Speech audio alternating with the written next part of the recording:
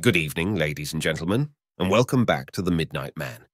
Tonight, we embark on a nocturnal journey through the seemingly ordinary setting of a well known home improvement store, where the mundane meets the mysterious in the shadows of aisles stocked with tools and timber.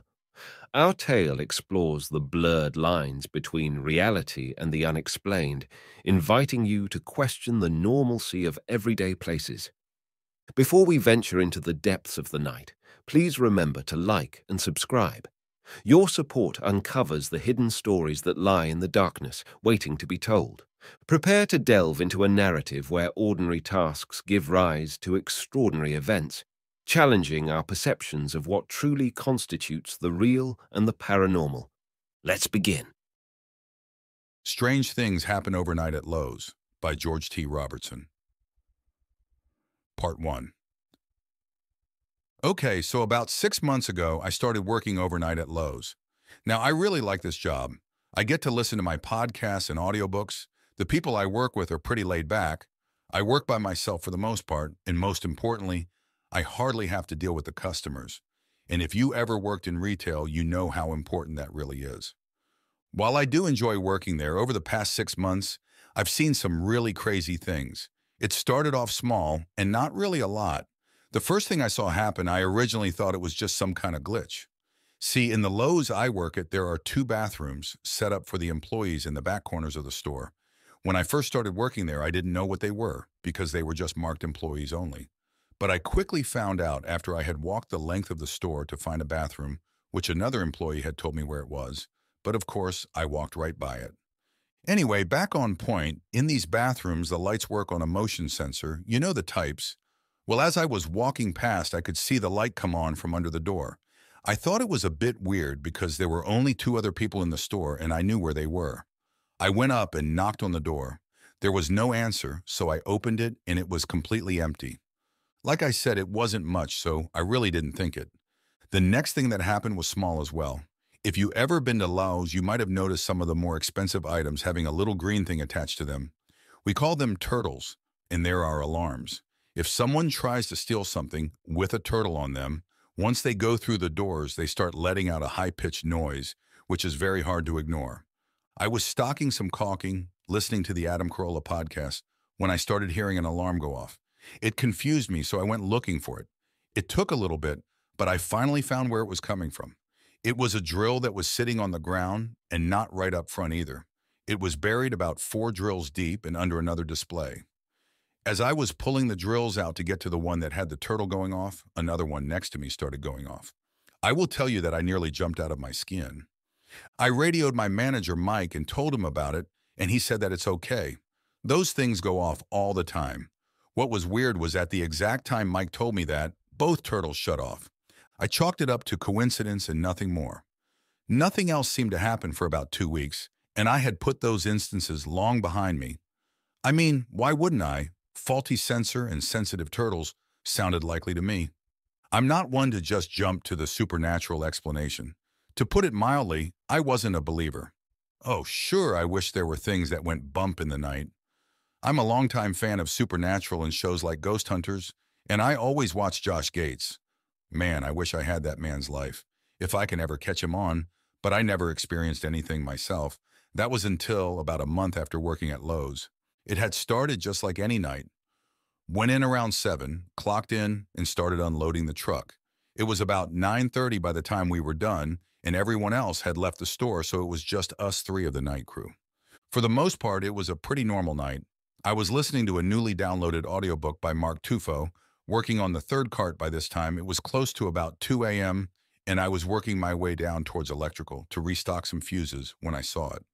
Honestly, I just kind of stood there more about a minute or two trying to make heads or tail on what I was seeing, because a little bit over halfway down the aisle, there was an arm sticking out from under the shelving racks. It kept moving around as if someone was reaching under their couch to look for the lost remote. Once I got at least some of my wits back, I called Mike. Mike, I said. Yeah, what's up? Mike called back. Um, Mike, I got, um, an arm, I tried to say. Oh, that thing, Mike said, surprisingly unsurprised. Yeah, don't worry about it. Just don't get too close. It tends to get a bit grabby, it's fast, and its reach is farther. Then it looks, so just stay away from that aisle for now. I was actually flabbergasted at how lightly Mike was taking it. Uh, I said, not really knowing what else to say. What aisle is it in, by the way? Mike asked. Aisle 13. Okay, just steer clear of it for now. I'll explain more later on. What I have come to understand is that no one really knows anything about the arm. It shows up, tries to grab things and pull them under the shelving. That's about it. I've seen it about seven times now. Never in the same aisle either, and it never shows up at the same time. The only thing it seems to be constant is that it has always gone back under the shelving just before 4 a.m. One time when I saw it, I chucked a can of spray paint at it. The moment that can hit the aisle floor, the arm shot out and snatched it and sucked it back under the shelving. And when I say it shot out, I mean it shot out. It must have reached three times the length of a normal arm and back under the shelving in less than a second. After I saw that, I followed Mike's suggestion and just avoided those aisles that it was in until it went back under itself. That's all the time I got right now. I have a lot more stories like the thing that lives in the garden center and the naked little man I keep seeing. That one's a bit weirder than others. I'll try to write some more down later. And remember, have a Lowe's safe day. Part 2 Wow, I never expected the kind of response that I have gotten. Thanks to everyone that wants to hear more of my stories, and I do have a bunch. First, let me address a few questions about the arm from my first post. One, the arm looks like a man's arm, no sleeves or tattoos of any sort, though I can see that it has darkish hair on the forearm. I did notice one thing that seemed odd. It was missing its fingernail on its pinky finger. Two, come on guys, it's almost 2020. I've already tried to take a picture of the arm. I mean, how could I not? It's a random arm reaching out from under a shelving unit. Well, I've got some bad news for anyone wanting to see the arm. It doesn't photograph well, as in not as all. Whenever I tried to use my camera on my phone, nothing ever shows up. I tried to film it once snatching something like it did the spray can. Son of a bitch just ignored it. That was until I stopped filming. Then it grabbed it.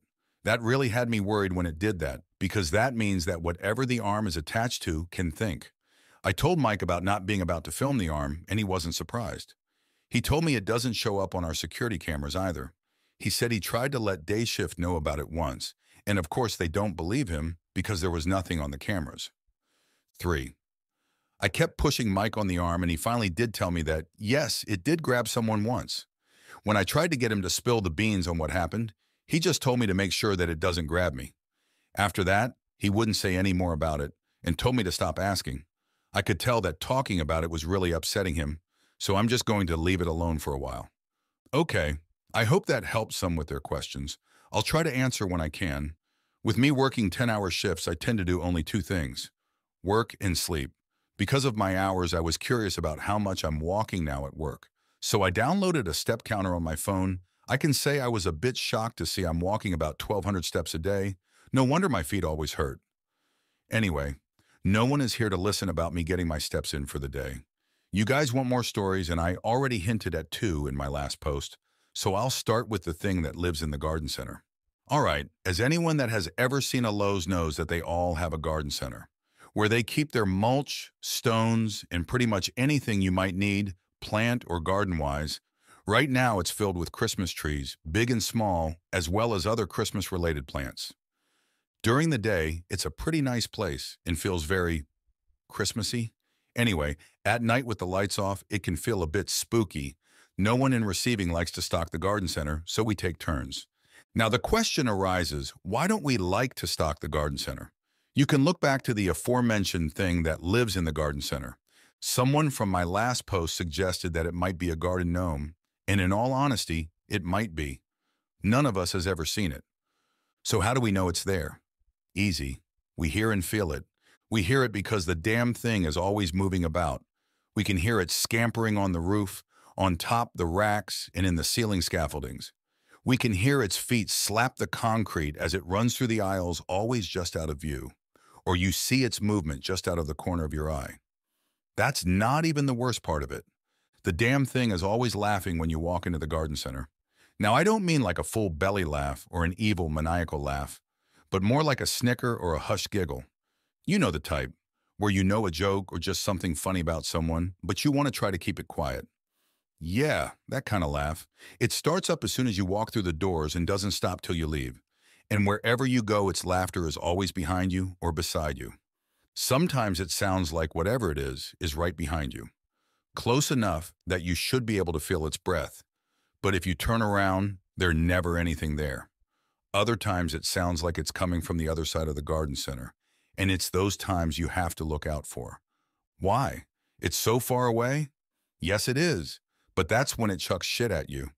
Yeah, the little fucker likes to throw rocks or rubber parts and whatever it can get its hand on and lobs it at you.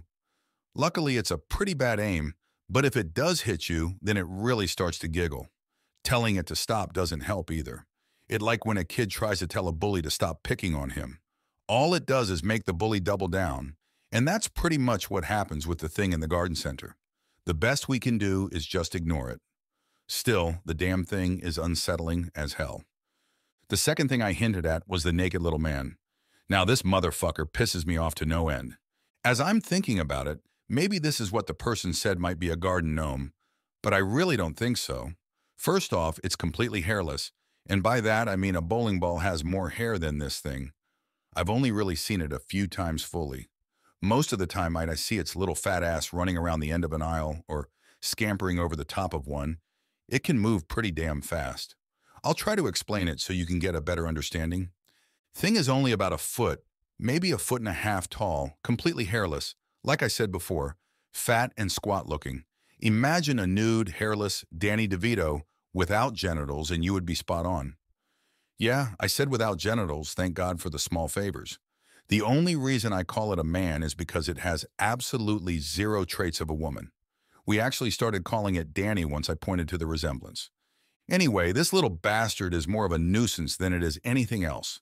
It likes to make messes, knock stuff off the top of the racks, and steal your shit. That kind of stuff. Always makes your night a living hell because of all the extra work he forces us to do.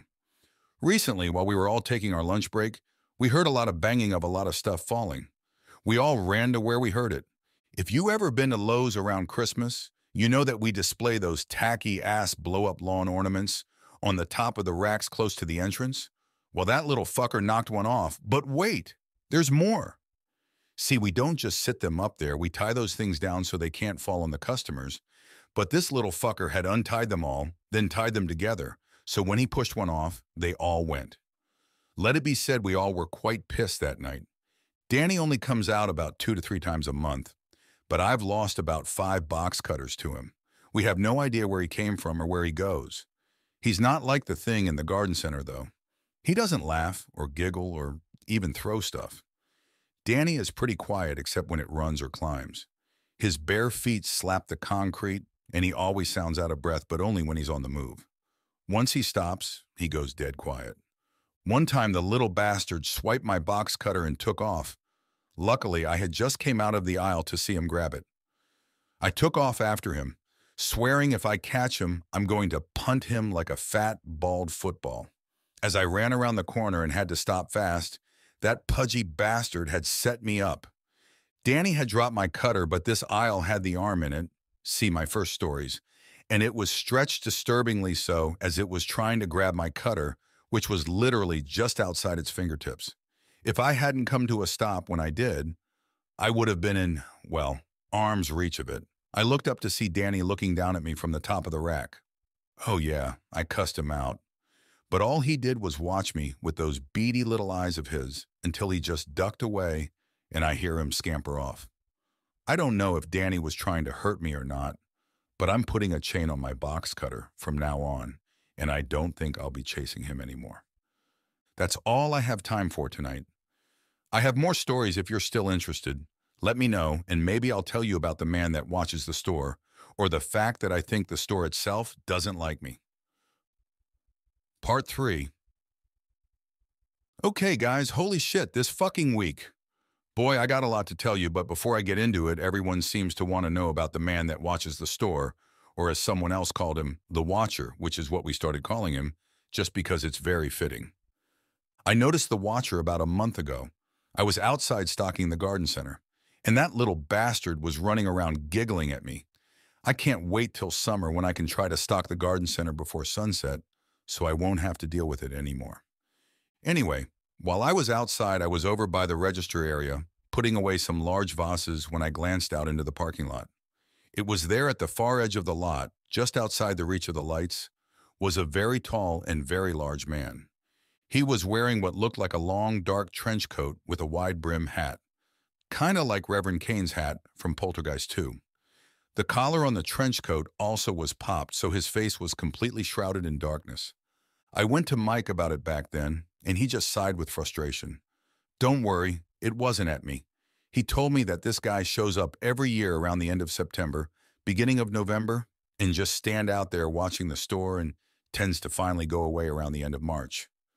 Mike told me that every night around 10 p.m., he'll show up somewhere just outside the property line, stand there all night, rain, snow, sleet, doesn't matter. And then he tends to disappear around 5 a.m. I asked him how many years has he been doing this, and Mike told me that from the stories he's heard. Pretty much since the store first opened back in 2006. Has anyone ever tried to see what he wants? I asked Mike. Mike looked at me sadly. Yes, he said. Mike told me that a few years ago, a young guy, one of those I ain't scared of shit types, decided to go and tell the creep off. He was never heard from again.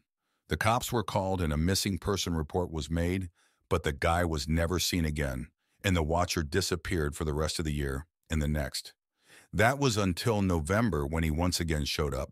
I was like, fuck, Mike, is there anything else that might pop up that I should know about that could I don't know, cost me my life. At that point, Mike informed me that come spring, I should be on the lookout of an incredibly attractive woman that starts showing up and tries to lure you out of the store to have sex with you. Yeah, you guessed it. She doesn't want to have sex with you, and I'm not supposed to believe anything she says or does, and that it's best to simply ignore her. I told Mike that if a hot girl was trying to have sex with me, then I would already not trust her because that shit does not happen, and I mean ever. I haven't had a woman look at me like that for over 10 years, and I'm counting my wife in that. All right, now let me tell you how my week went. The first really fucked up thing that happened was last Wednesday. Shit got real scary and real serious that night. Let me set it up here. I was working a unique shift on Wednesday due to Lowe's being closed for Thanksgiving. See, unlike other greedy big box stores, Lowe's actually cares about their employees and as such does not open late night on Thursday to sell items that have been marked up then marked down. So idiots feel that they need to get into fistfights over sheets. Oh yeah, I really saw that once on a Black Friday. Let me ask you something. Is there or was there any point in your life that you wanted to buy sheets at a falsely discounted price so fucking bad that you would punch a complete stranger in the face? If your answer is anything other than, of course not, what do you think I am? Stupid? Then you really need to rethink your love for sheets. As I was saying, I was working the unique shift from 1 p.m. to 12 a.m. We were all supposed to be out clocked out by midnight, and I was fine with that. The majority of the night was pretty easy. I mean, besides having to deal with customers, but even they seemed to be all right for the most part. It wasn't until 11 that it went south. In the back of the store, we have our loading dock where we keep everything that we unload off trucks that still need to be placed on racks in the store or where special request items are stored until the customers can pick them up. Well, I was back there sweeping up and listening to the latest audiobook in the series called Hard Luck Hank. This book was called Dumber Than Dead. It's really good if you ever get a chance to pick them up. Anywho, it was really windy that night due to the fact we had a storm coming in from the east. The dock's roll-up doors were banging with the wind. They weren't really that loud, and I really had thought nothing of it. I was by the last of the three doors when there was an especially loud bang, so loud and unexpected that I actually jumped and dropped my broom. I didn't move for a moment, just trying to recover from the surprise. I went to grab my broom when the door banged again. I stood and started to back up. There was another bang, but it came from the middle of the three doors. It was at this point that Mike came running into the back. What was that? he asked. I just pointed at the doors, a little too shocked to say anything. Then came another bang, then another, louder and harder. I don't think that's the wind, I said. We can actually see dents starting to form from the numerous hits.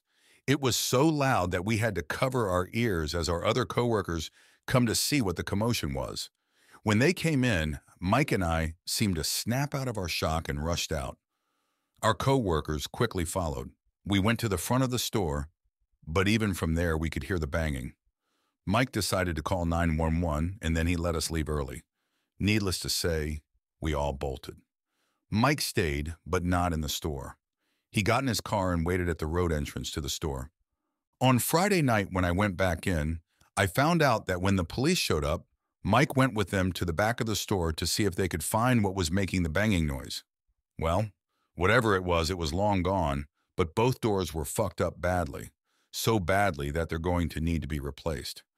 The Mangers talked to Mike and me about what happened, and I told them everything I knew. I asked what did the security cameras catch, and they said that they got knocked out just before the door was attacked. Yeah, I said attacked because that's what it looked like. There were large dents and deep scratches all over the two doors. The third door was untouched because there has a trailer stock in it that we were going to unload on Friday. This now leads me to my last bit of weirdness. See, while we were unloading the truck, we came across a small box with my name on it. Mike handed it to me but suggested that I shouldn't open it. When I asked him why, he said that everyone that works in receiving gets one of these sooner or later he was actually surprised that it took this long. I asked him if he ever got one, and he said that he did. What was in yours? I asked. A tooth, Mike answered. A motherfucking tooth, he said. He even said that it still had some blood and gum on it. Then I asked my two coworkers, John and Steve. I got a box full of roaches, and not the good kind, John said. I got, well, I'm not sure what it was, said Steve. It was just a red, wet, squishy thing I shook my box. There was something definitely in there. When I asked where they came from, no one really knew. Mike suggested again that I just toss it, but after hearing everyone else's little prizes, I had to know. So with my cutter, I slit the tape and opened it. It was a dead bird. A chickadee, I think. John looked into the box. The hell, he said. It moved. He wasn't lying. I saw it too. Well, the chickadee didn't move. The poor thing was dead but something inside of it did. I quickly closed the box, grabbed the closest tape, resealed it, and tossed it into the trash compactor, turning it on. So, yeah, that was my week, and that's all I have time for now. Heading to bed so I can forget this week ever happened. I'll keep telling you guys more stories of this crazy store if you want, and always remember, have a Lowe's safe day. Part 4 I don't know how much longer I'm going to last at Lowe's anymore. Someone said in the comments that it sounds like things might be escalating, and I think they might be right. I think things are starting to get out of hand. It started on Wednesday. It was my turn to stock the garden center, and I was out there stocking the mulch because there's no time to work on your garden then in December in the Northeast, prime weather. No lie, we get some crazy things in right now. Just the other day, we got two pallets of weed whackers. I mean, why? It wasn't even for Black Friday, but that isn't the point. I was out in the garden center, like I said, stocking mulch and trying to ignore the thing in the garden center, laughing at me when it abruptly stops. I look up into the rafters as I hear it scamper up on over onto the roof. Confused by the sudden change, I walked out into the open section of the center, trying to see where it scampered off to, when I heard really heavy breathing. I looked over towards the sound to see the watcher standing on the other side of the fence. I stopped dead. I've never seen the Watcher this close up, and apparently the only one who ever has was never seen again. He has never approached the store before, but there he was, staring at me. I can tell he was staring at me because while his face was still hidden in the shadows of his high collar and hat, I can see light gleaming off his cold, hateful eyes. Now, I don't scare easily, spooked and unnerved, yes, but scared? No. I will tell you what, though. While I was frozen where I stood looking at this tall tower of evil, and evil is what this thing was, that if I hadn't already dropped a loaf earlier, then my pants would have been a bakery.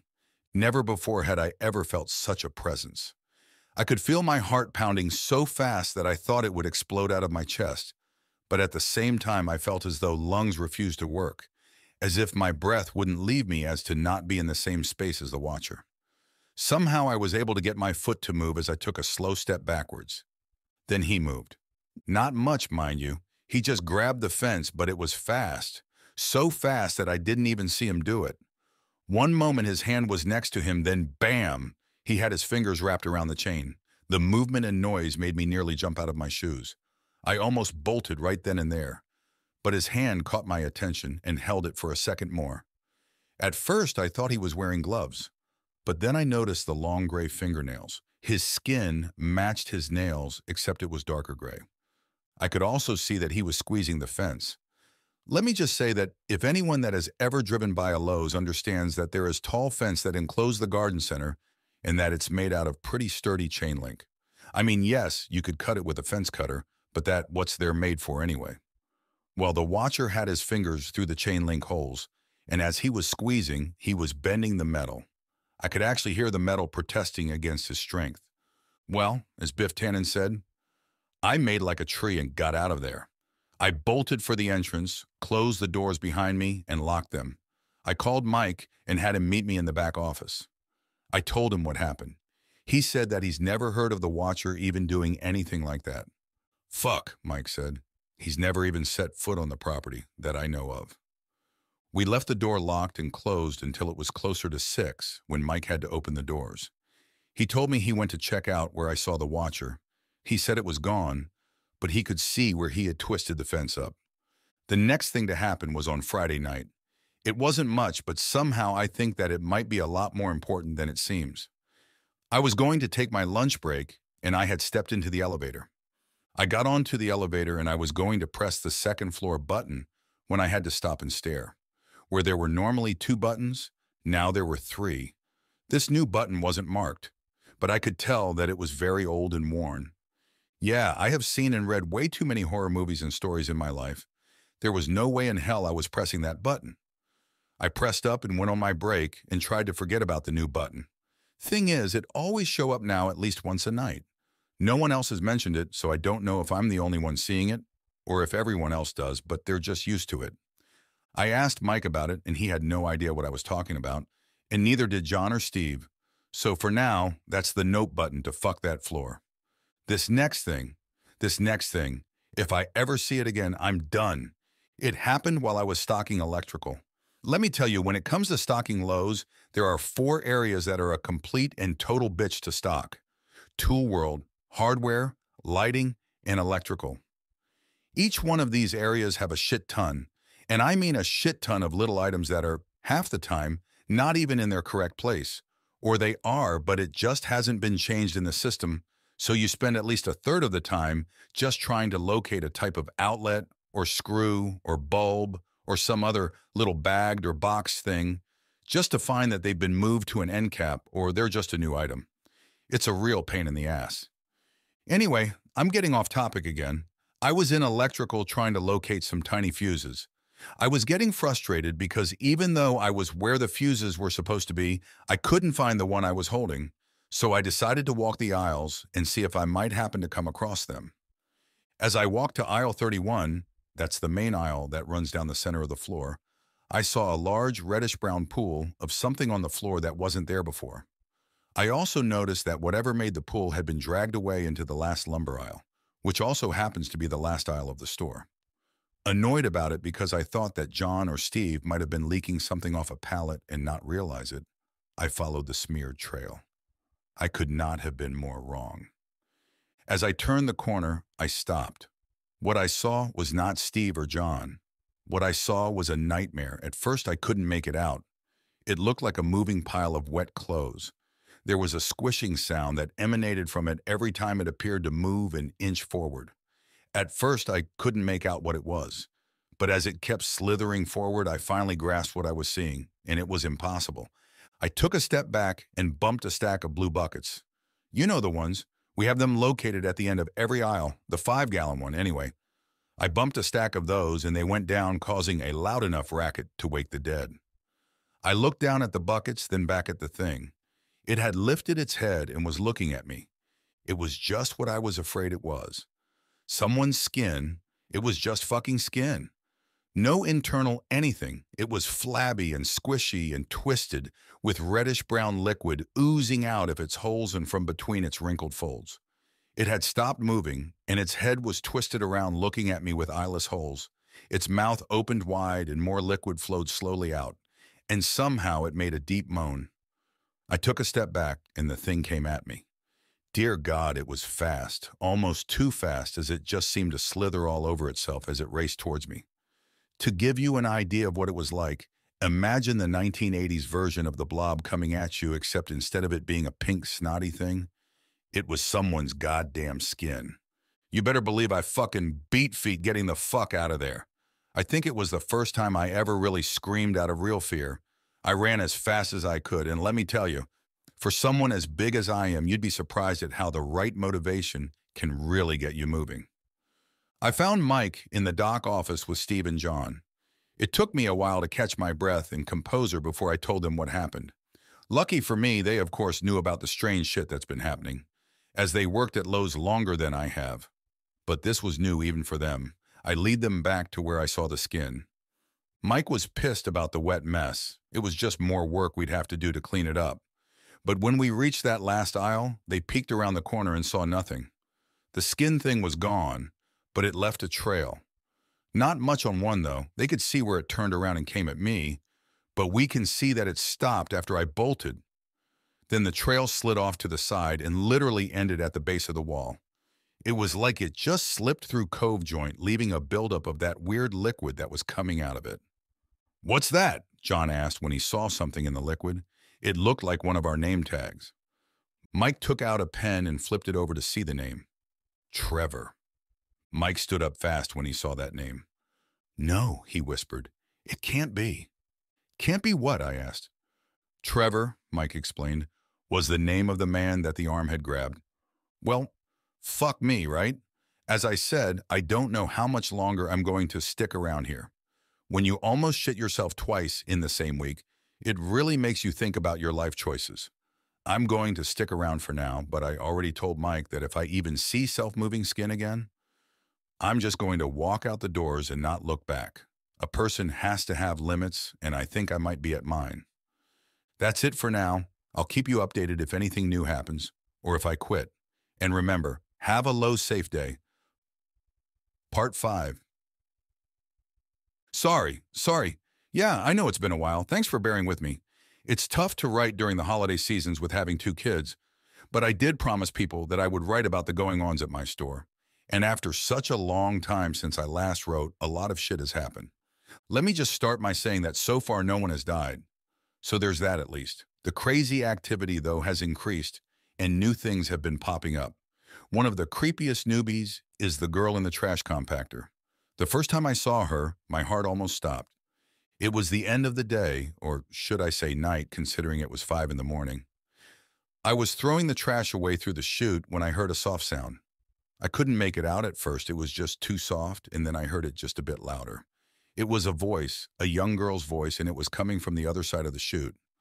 Hello, I said with, let's say, a little bit of apprehension. There was a rustling, and I can see some garbage moving around as a delicate gray hand reached up and grabbed the other edge of the chute. Then another gray hand appeared. In between them, the top and a head started to rise.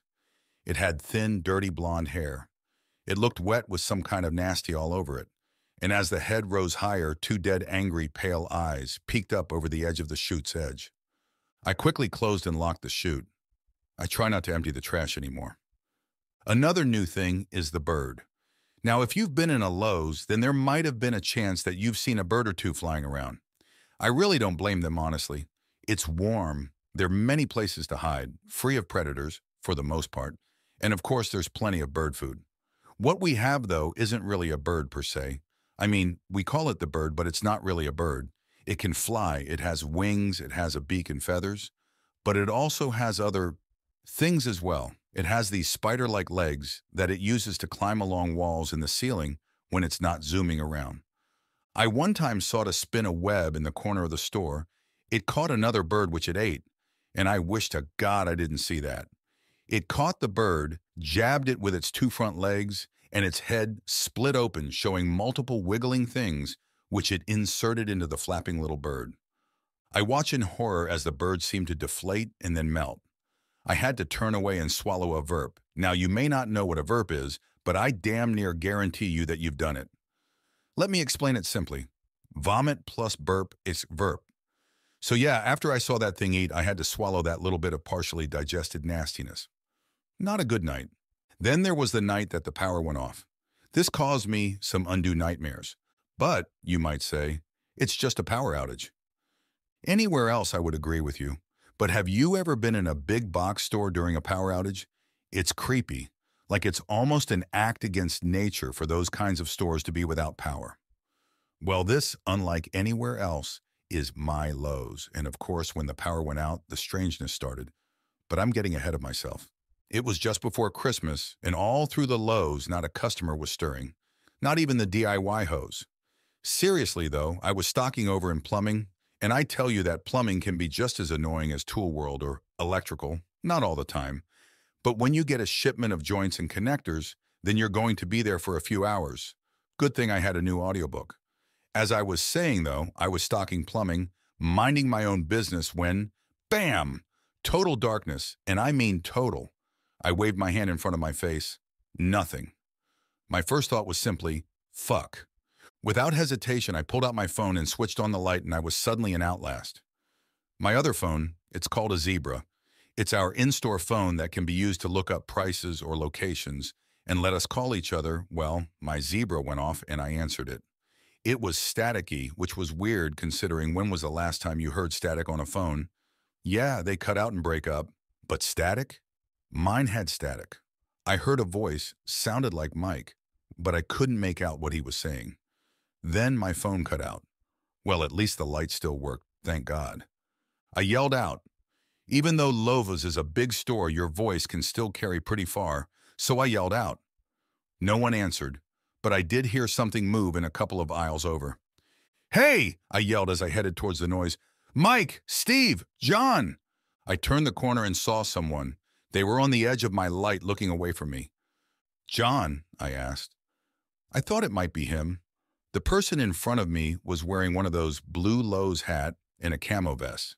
In case you didn't know, Lowe's workers can wear two different types of vests. The classic red vest, which is for the average worker, and the camo vest, which I found out on the first day, were for veterans. I thought that was pretty cool. I walked up and tapped his shoulder. Hey, John, what happened to the... The man turned around and I jerked my hand back in terror. The man's face wasn't there. Instead, there was a fleshy tube or tentacle or cord coming out from the middle of his face. The tube ran down to the ground and off into the darkness. It twitched every now and then, and I could see it pulsing. The man reached up towards me as a muffled groan issued out from him. I turned to run and abruptly was knocked on my ass as I bumped right into something. As my ass hits the ground, all the lights come on and John is sitting on his ass as well, right in front of me.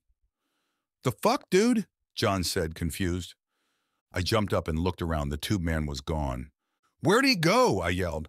Where did who go? John said as he stood up. When I mentioned the blackout, he had no idea what I was talking about. He told me that the lights haven't even blinked, let alone went out, and that I just seemed to come out of nowhere, running right into him. I literally have no idea what had happened, but I really don't want it to happen again. Some other updates. The thing in the garden center has been quiet lately, which has been nice. But I believe it's because the watcher is now always standing right outside the fence. Whatever the watcher is, is so bad that it scares the thing.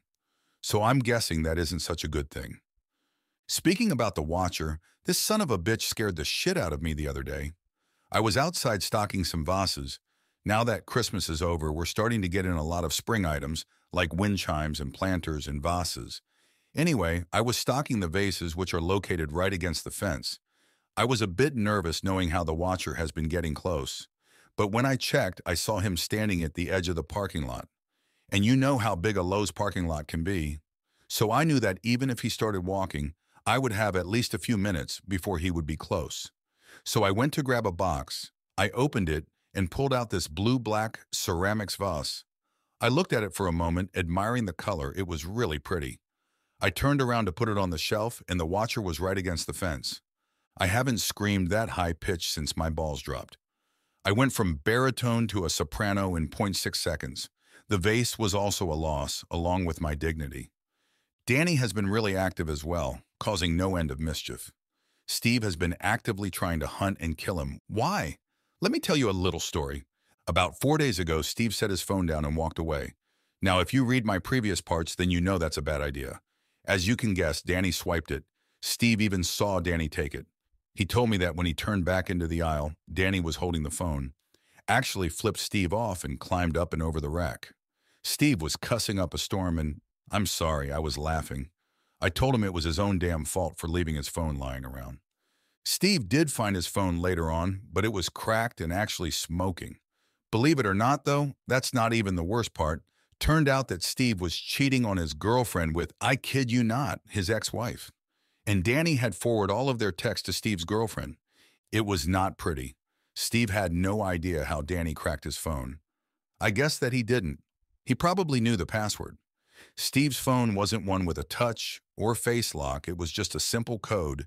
And I figured that Danny has been watching us for a while, and since he likes to hang out on the top of the racks, he probably saw all of us punch in our codes one time or another, so that's something to really think about. So now Steve is actively trying to hunt and kill Danny for ruining his life. As much as Danny annoys me, I don't believe that it's his fault. Well, not entirely. I mean, it's not Danny's fault that Steve was cheating, and it's not Danny's fault that Steve was too stupid to not delete those texts. When I pointed this out to Steve, he just told me to shut up and stormed off. The arm hasn't been seen for a while, and I'm not too upset about it. I hate that creepy thing, and it can just stay away. But with things seemingly escalating, I'm sure we'll be seeing it again sooner than later. The new elevator button is showing up more. It's like it wants me to press it. Oh, I'm not even about to. With the way things are right now, who the hell knows where it would go? And as far as I'm concerned, I'm sure as fuck not going to find out. I think that's just about it for now.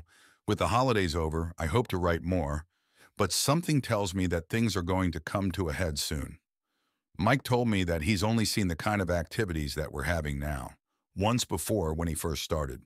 When I asked him what happened last time, he took up his hat, just shook his head. If, and I mean if, it comes to a head like last time, Mike said, one or more of us might not make it out. But that's the extreme end. I'm sure it won't come to that. Damn it, Mike, could you be more ominous? I swear, if it wasn't for the pay I make, I think that I should quit or transfer. But recently I found out that my wife works with a woman whose husband works at another Lowe's in the area and found out that I get paid a lot, and I mean a lot more than he does. This tells me that maybe someone in management or maybe even higher up might know what's going on at night here. And if that's true, why is it such a secret and why does the day shift seem to not believe us about what happens when we tell them? Maybe I'm overthinking it, but something just really seems off. Anyway, I'm out and heading to bed. Have a low safe day. Part 6 Well, our manager dropped in this week, and I must say things got a bit ominous. But before I go into that, let me tell you guys about some more weird shit that went down this week. It started out with the bathroom. I was in there doing, well, my business, surfing the net, when I heard something. At first, I thought I was just imagining it, but then I heard it again. It was a soft giggle. I, of course, finished up and pulled up my pants. I walked around the small bathroom trying to locate the giggle, and after a brief moment, I was able to locate that the sound was coming out of the drain. I got down and put my ear to the drain. I could hear the giggle better now. It sounded like a kid's giggle, specifically a little girl's giggle. I looked down the drain, but all I could see was blackness. I pulled out my phone, turned on its light, and I shined it down the drain. I saw something, but I couldn't quite make it out until it moved. An eye opened up and looked up at me. Hi, it whispered. I booked it out of that bathroom, and I don't care how friendly that drain eyeball seemed to be. I was not using that bathroom again. I just hope it can't travel through the drains. That's all I fucking need. Now, remember back in my first post when I mentioned the devices we call turtles that we use for theft prevention and how a couple of them went off for no reason? Well, about four days ago, around 3 a.m. in the morning, every single one of them started chiming at exactly the same moment. And as they chimed, the music over the intercom stopped playing and was replaced by a deep, croaking voice speaking a language that none of us could even come close to understanding or even guessing what it was. I mean, it literally sounded completely inhuman. The turtles chimed, and the voice spoke, for a lack of a better term, for about a minute, and as quickly as they started, they all just stopped. Not much else happened for the rest of the night, but it definitely threw us off our groove. This next thing actually made me smile a bit when I saw it. I was working in plumbing, and you guys know how I feel about plumbing. The only thing worse is nails, nuts, and bolts. Well, I was putting away some PVC piping elbow joints when a box fell behind me, nearly making me jump out of my shoes. I looked at it, confused, and then looked upwards. What I saw was something I didn't think I would ever see. Now, you know that bird I talked about last time? Well, it was going crazy, squawking, flapping, and just making all kind of noises due to the fact that Danny was trying to attack it. They were all over the fucking place. They were like two WWE wrestlers back in the early 2000s when that shit was actually good. The bird would swoop in to try to bite or web Danny, while Danny would punch the ever-loving shit out of it whenever the bird got close. Hey, Danny, I yelled. Danny stopped and looked down at me. I could see the annoyance on his rotund little face. Get that fucker, I said as I gave him a thumbs up. Danny promptly flipped me off and bolted after that rapidly escaping bird. Well, he might not like me, but I still hate the stupid bird more than Danny. At least Danny never sucked dry another bird. I think that I've come to like the little asshole, in fact. Yes, he's a shitload of trouble and causes no end of mischief, but there was just something about the bald little bastard that I can't help but like. I don't know. I guess he grows on you, much like a fungus. He reminds me of a pug. You know what a pug is, right? Those little inbred abominations that are probably one of the ugliest, most useless dogs on the face of the earth. But it's those reasons that people love them. It's where the term, so ugly it's cute, comes from. Now that I think about it, animals are the only ones that term equates to. You'll never hear that term used for a person or, hell, even a baby. And yes, there are ugly babies out there. We all know it, and we've all seen them. There's always that couple that you know that if they breed, they would produce the human version of a pug, and then they actually do breed, and now you're forced to tell them that their little Sid the Sloth is just so adorable because you want to be a nice person and not hurt their feelings. But in your head, all you can think about it that you hope this kid develops one hell of a personality. Could you actually imagine someone looking at an ugly baby and saying, oh, he's so ugly that he's cute? I'll tell you one thing, I want to be there when that bomb drops just so I can see the aftermath. Okay, enough rambling. The arm is back, or should I say arms, and I mean those fuckers came back with a vengeance. It's gotten crazy in the aisles, because just this week alone, at least 18 of them have been spotted, and multiples at one time. John almost got grabbed by one. Well, he actually did get grabbed by one, but luckily it just grabbed his shoe, which slipped off when the arm retracted back under the shelf. Almost gave John a heart attack, and I don't blame him at all. Mike said he's never seen anything like this. There's only been one and only ever showed up a few times a month. I can tell that Mike is getting nervous, and that man never gets nervous. He's been here longer than any of us and has pretty much seen it all. But the last few weeks, I've heard him say he's never seen anything like what's been happening more than I really care to count. And that makes me very nervous. All right, let me tell you about the district manager dropping by. It was the other day, and I was over indoors trying to put well, doors away, and I trying to locate the correct place for them to go, which was proving incredibly difficult because someone on the day shift decided that it would be a great idea to switch around all the doors but not the price stickers. So I couldn't find fuck all, and it was really starting to piss me off when there was a call came over the intercom. It was from Steve. Hey guys, he said, can everyone come out to the garden center? Steve never gave an all call over the intercom like that, so I have to say I was a bit curious. I walked out to aisle 31, or the middle aisle, I should say, and headed to the garden center. I bumped into John as he came out from lighting. What's going on? he asked me. As we approached the sliding doors, we could see Steve standing out on the open section of the garden center. Hey, said John, it's snowing. That it was, heavily too. We could see it accumulating as we watched. Mike walked up next to us. Is that lightning and what the hell is he looking at? Mike commented. That's when I noticed a few more things. Steve was looking straight up at the snowy night sky as what looked like green lightning lit up the garden center. How did I not notice that before? We slide the doors open and walked out. As we approached Steve, all of our eyes looked up and we all came to a stop. Dear God, whispered John in horrified awe. Above us there was a blizzard roaring, unlike anything we've ever seen before. The clouds lit up with dark green lighting, but that really wasn't anything compared to what else there was. Silhouetted within the clouds of the storm, showed only when the lightning flashed, there was something large. No, not large, that's not the right word for it. It was something enormous, so big that it filled every inch of the cloud and lightning-filled sky. It looked like long, slow-moving cords or tentacles covering from horizon to horizon. Oh, and when I said roaring before, I meant it. The sky was literally roaring. John, I said, call your wife. See if she can see this. John pulled out his phone and called his wife. I knew that she was a night owl, and we had a good chance that she might still be up.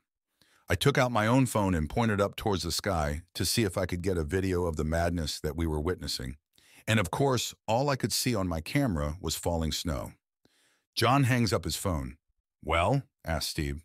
She can't see anything, John said as he tucked his phone back into his pocket. Well, that can't be good, someone else said. We all jumped a foot at the new voice behind us. We spun around to see Todd, our manager, looking up with his hands behind his back. Todd, Mike said, when did you get here? Todd looked away from the sky and to Mike. Just now. Can I speak to you, Mike? Of course, Mike said. Todd turned to us. All right, everyone, he said. I know it's weird, but I need everyone to get back to your jobs for now. But, I said, pointing up, the sky monster?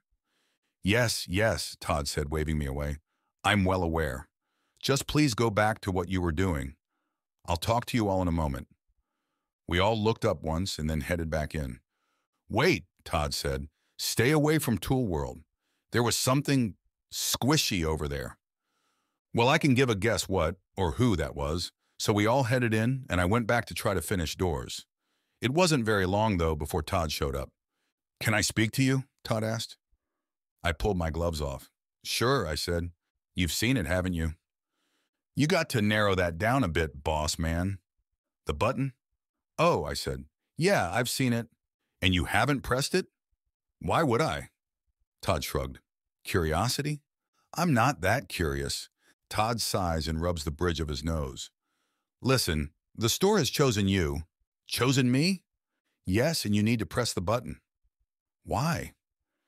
Because if you don't, then things are going to keep escalating until, until what? Until they don't stop, and then it'll be too late. Too late for what? Todd just looks at me with a sad face. That's up to you, but I would advise you to press the button and do the right thing. Todd turns and walks away. Well, what the actual fuck, Todd? Do the right thing? Last time I checked, this wasn't a Spike Lee joint. What am I supposed to do with that? The store has chosen me? For what? Why? Why me? Okay, this job has just gotten a lot worse and a whole lot more intense. I have absolutely no idea what I should do. If anyone has any suggestions, I am more than open and willing to hear them, and so I guess until I can figure stuff out, everyone try to have a low safe day. Part 7 Okay, first just let me say that I'm writing this from the hospital. I'm okay for the most part, though I can't say the same for everyone. But before I get to the end, let me start from the beginning. The day it really went sidewise started out like any other day, really.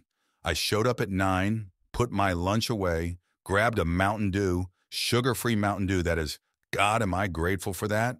I need to cut back on my sugar intake, but I hate, and I mean hate Diet Mountain Dew, Shit tastes like total ass. But this new sugar-free dew tastes only just a bit off, kind of like Mountain Lightning from Walmart. Anyway, I grabbed my dew and headed for the dock to see what's going on. The night was running normally. I was told to take care of the electrical today and had only three pallets. Not really that bad, to be honest. It looked like most of it was fans and lamps. But there was one pallet that had a shitload of little things on it. You know, things like switches and plugs and whatnot. Anyway, I had just got done separating the pallets into aisle location when I noticed it was getting close to midnight. And that means I was getting close to my first break, so I left my items where they were, in neat little piles all over the floor and headed to the dock to grab my charger. Well, not really my charger, more like the communal charger. I started listening to a whole bunch of new podcasts and I like to keep my phone as charged as I could, but since I use wired headphones, I really couldn't charge it while I listened to it. I used to have Bluetooth headphones, but I ran over them with my car, Really pissed me off when I found it the next day. It a shitload of little pieces all over the road. I know we sell these pocket chargers that use batteries. They're pretty damn cool, to be honest. And I've been meaning to buy one for a while. I just haven't gotten around to it yet.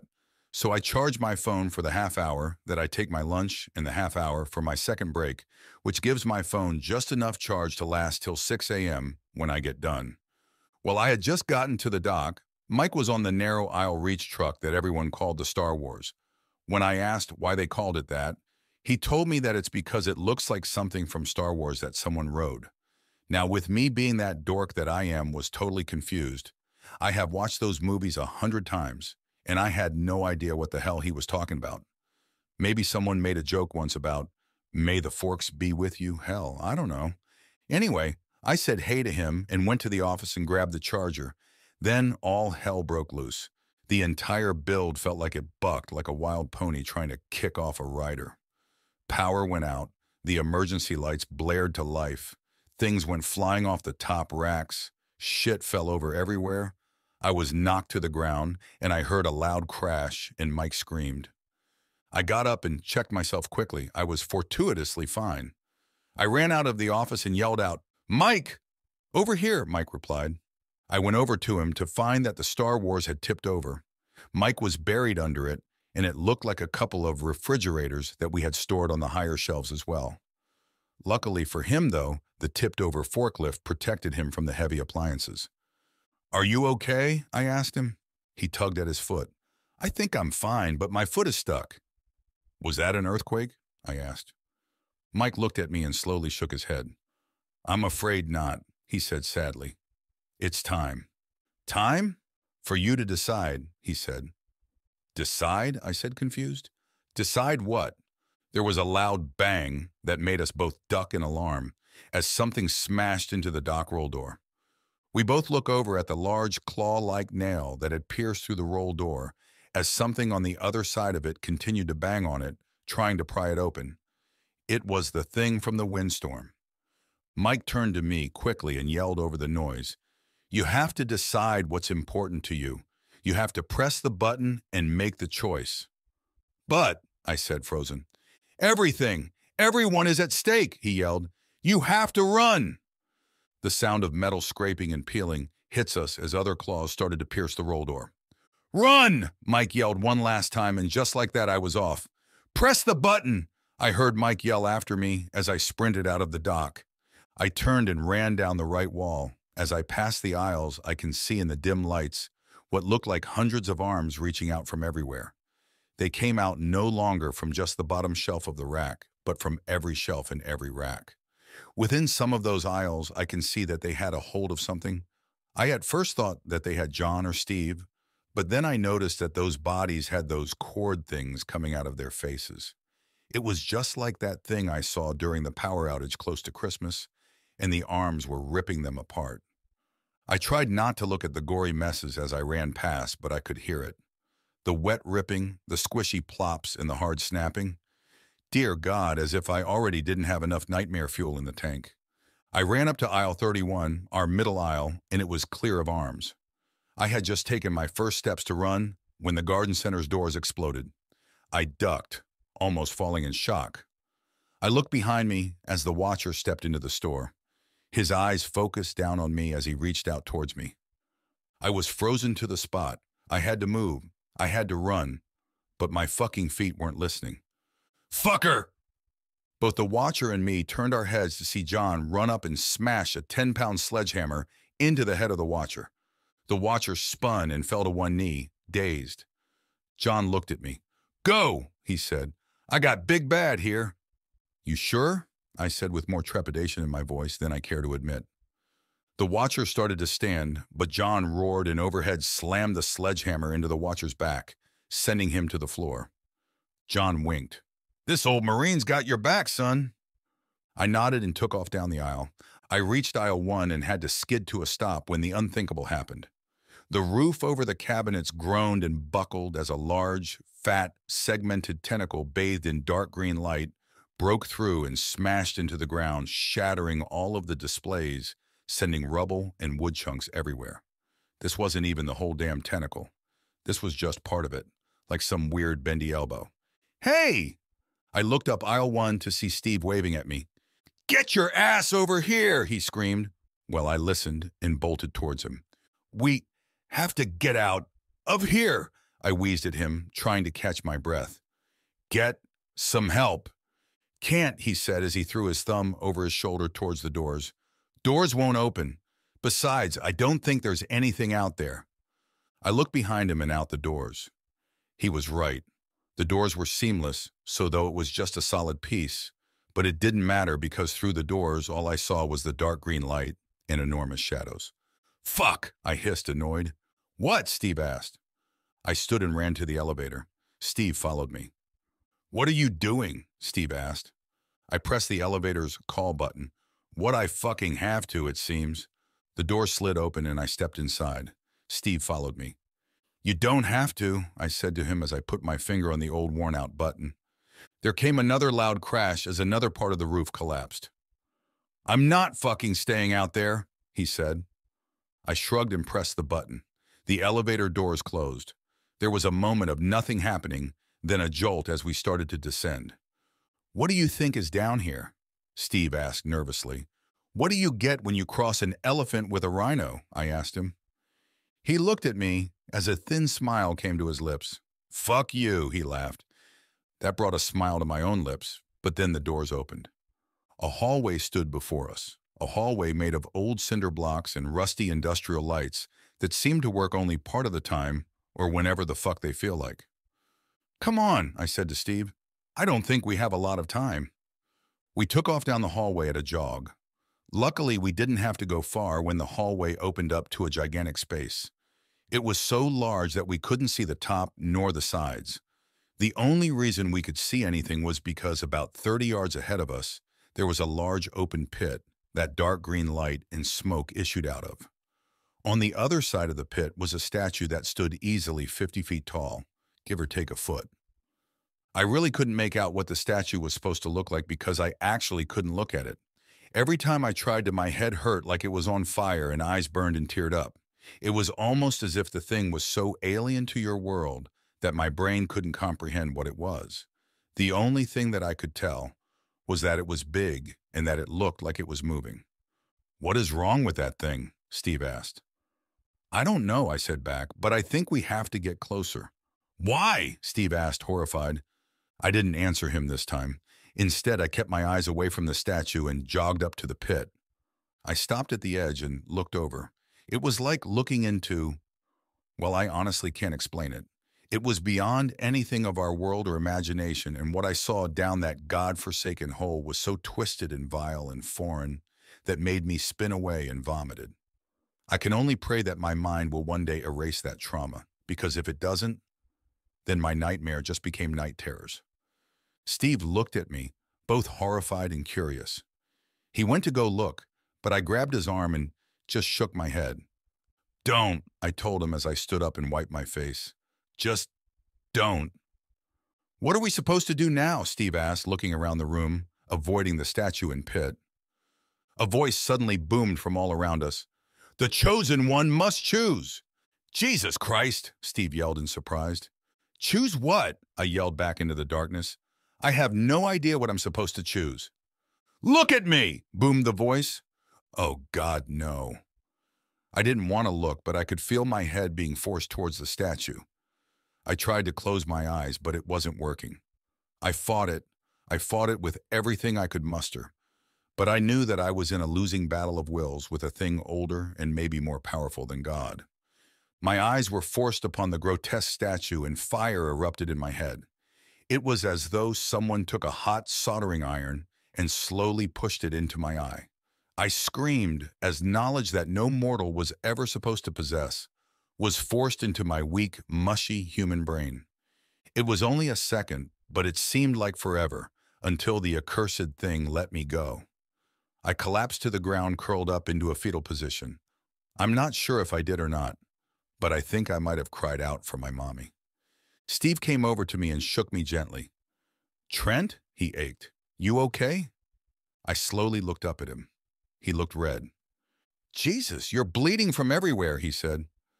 Turned out that being force-fed otherworldly information caused all the orifices in your head to spontaneously bleed. Who knew, right? I know, I whispered. I know what I have to do. I know why the store chose me.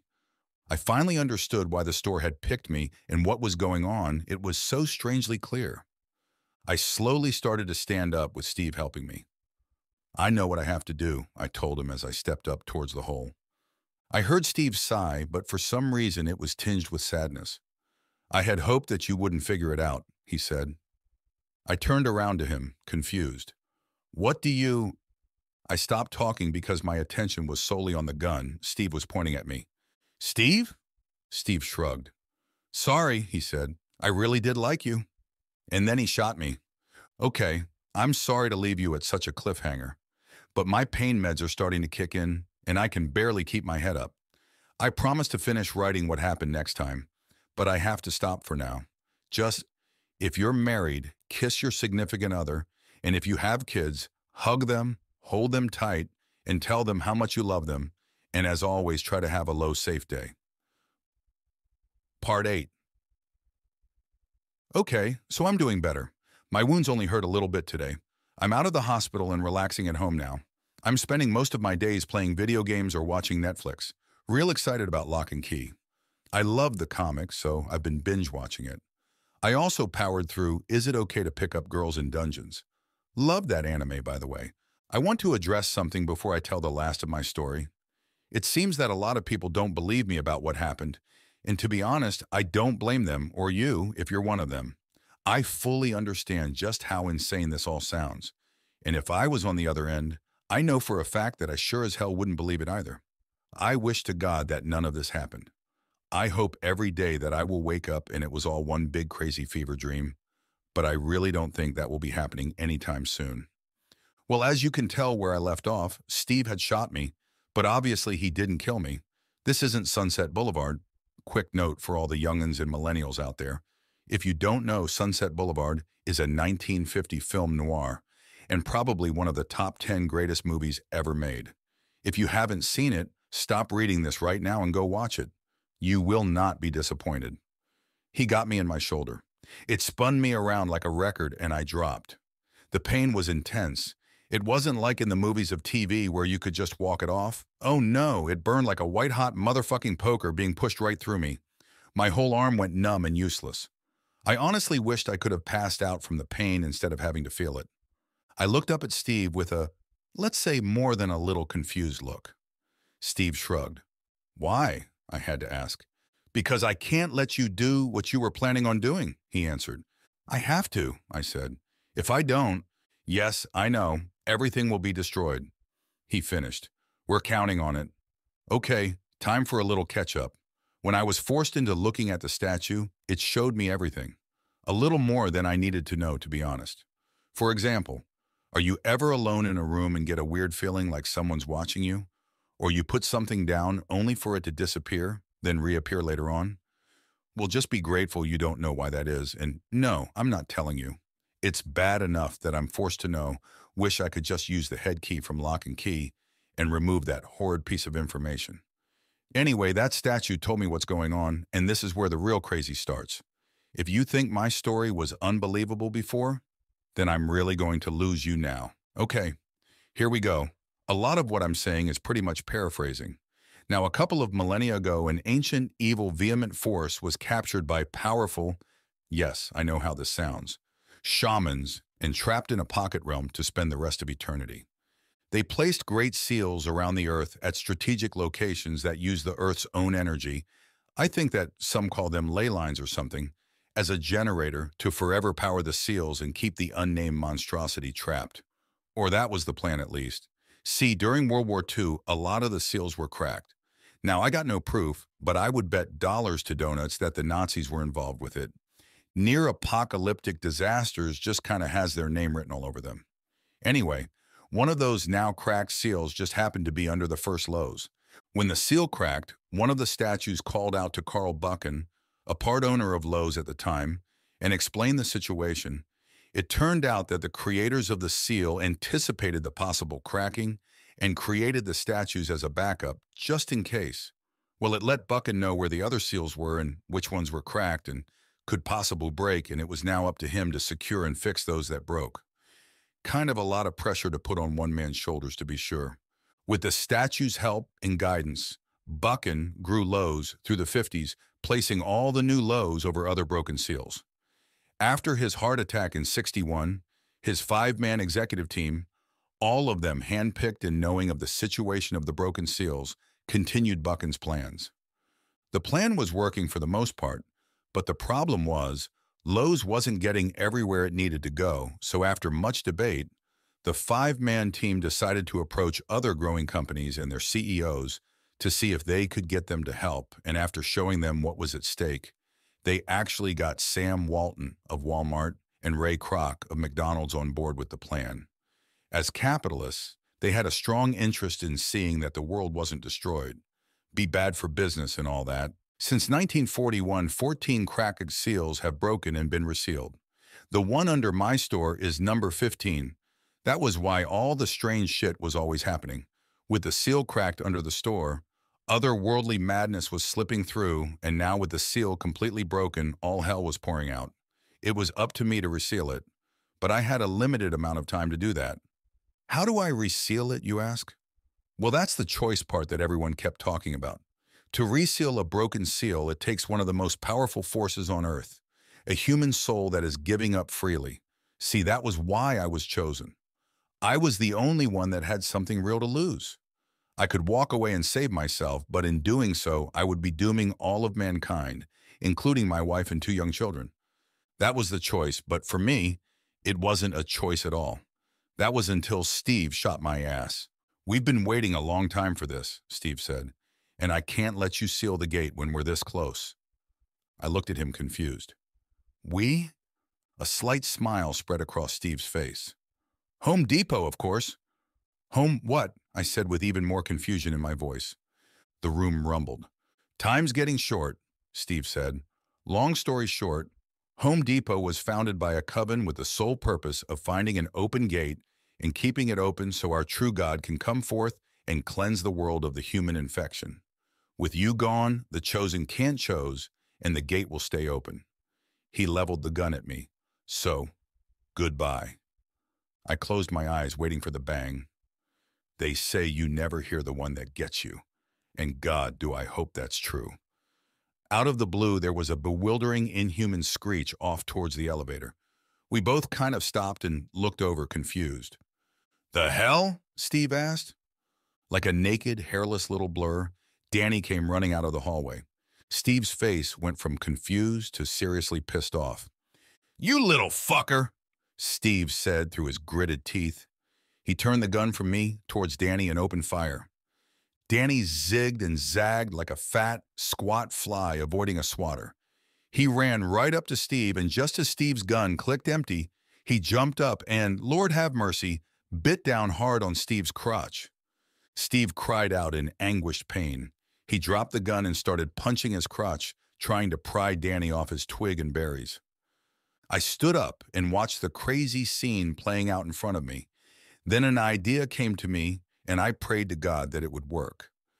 Despite the pain from the hole in my shoulder, I took off towards the screaming Steve and ran straight into him, knocking him off balance. He stumbled back, spun his arms trying to maintain his balance, but I could tell he was on the losing end of that battle. Danny lets go of Steve's snozberries as Steve totters on the side of the abyss. I give this soul freely, I whispered, as I ran up and pushed Steve one last time as he toppled and screamed as he fells over the edge and into the dark green hell.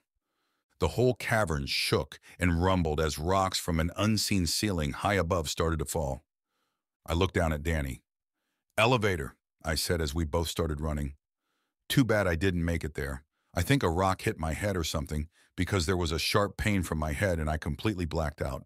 And when I awoke, I was lying in a hospital bed with my wife sitting in a chair watching the news. Hun? I asked weakly. My wife startled and jumped to my side. I asked her, what happened? How did I get here? She explained to me that while I was stocking, somehow a toilet fell from its stored location and on my head, which caused me to fall on a pickaxe. I'm not sure where she got that story from, but I think that it would be best if she kept believing that story. The rest of the day went by normally. I saw my kids and the rest of my family as they all swung by to say hi. The doctors come by to check on me and see how I'm doing. My wife brought me a foot-long meatball sandwich from Subway, my favorite overall. It was pretty nice. When visiting time was over, I went ahead and sent my wife home with the kids so she could get a decent night's sleep. That's when I got two more visitors. I had just sat back and was getting comfortable when there was a knock on my door and two people came in. The first one was Todd, and the second one I recognized, but couldn't put my finger on it. Todd? I asked with surprise. Hey, Todd said, can we come in? Uh, sure, I said. Todd came in and motioned towards the man behind him. This is Mr. Marvin Ellison, the CEO of Lowe's. And I snapped my fingers. I knew I recognized you from somewhere, I said. He came over and shook my hand. Nice to meet you. We promised to make this quick. Is this about what happened? I asked. Yes, Todd said, and everything that entitles. You are a hero. There's no doubt about that, Ellison said.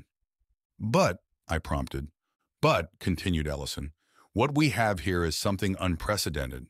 How so? I asked. Well, Todd said, you're still here. Up until now, the seal has always been sealed by a self-sacrifice. You sealed it with just a sacrifice. To be honest, I said, I didn't know if it would work or not. Well, said Ellison, so far it seems it has. That's why I'm here. I wanted to thank you in person and... He reached into his suit and pulled out an envelope and handed it to me. We would love to have you back working for us, but we also fully understand if you want to seek other life choices. As long as things are kept under wraps, that is. Mr. Ellison, I said. Who in the hell would believe me about anything that happened? Shit, I lived through it and I don't really believe it. Mr. Ellison smiled and nodded. Todd shook my hand. I hope to see you again. We'll see, I said in return. By the way, are Mike and John okay? Todd smiled. Everyone is fine, he said. Even Danny. I smiled at that. Todd walked over and opened the door for Ellison. Mr. Ellison, I said just before he went through the door. He turned back to me. Yes? Steve, I explained. He worked for Home Depot. I think they're out to get, well, everyone. I'm well aware, Ellison said to me. That's why I left them. Thank you for the info, though. He and Todd left and closed the door behind them. I opened the envelope and pulled out a very large check and a letter. The letter thanked me and told me to enjoy my life. And with the check, I think that the family and I will do just that. So that's my crazy-ass story. I'm sorry it took so long to write. Life has been keeping me busy. I know how hard it is to believe, and I don't blame you if you don't. But thank you, everyone, that followed this insane ride and worried about me and the others. And always remember to have a Lowe's safe day. The end. Thank you for joining us on this enigmatic exploration of the night and the unexplained occurrences that defy logic. If tonight's journey has intrigued you, don't hesitate to like this video and subscribe to our channel.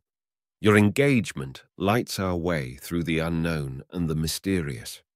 Stay tuned for more tales that tread the thin line between the seen and the unseen, where shadows hold secrets and silence speaks volumes.